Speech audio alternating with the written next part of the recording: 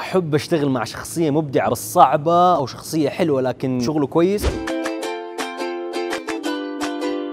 الصراحة اللي شخصيته حلوة، ليه؟ لأنه أحد حيلتزم معايا، حينفذ، آه، حيكون يعني مرح معايا في التعامل، حيكون سهل علي وحقدر أطلع فلوس وحقدر أشتغل وأسوي بزنس، بس اللي حيكون شخصيته صعبة حيطفشني. أنا مع الشخص المبدع في مجاله حتى لو كانت شخصيته صعبة انه أنا ما يهمني أصلا شخصيته إيش تكون أو كيف تكون لأن أبغى منه بس الفكرة الفكرة هذه هي اللي راح تغير مجال الحياة والعمل بيئة العمل اللي أنا شغال فيها. الأشخاص المبدعين أصلا نادرين في في في, في البلد. أنا يهمني الشخص يكون مبدع ما يهمني شخصيته لأني ما حناسبه في الأخير.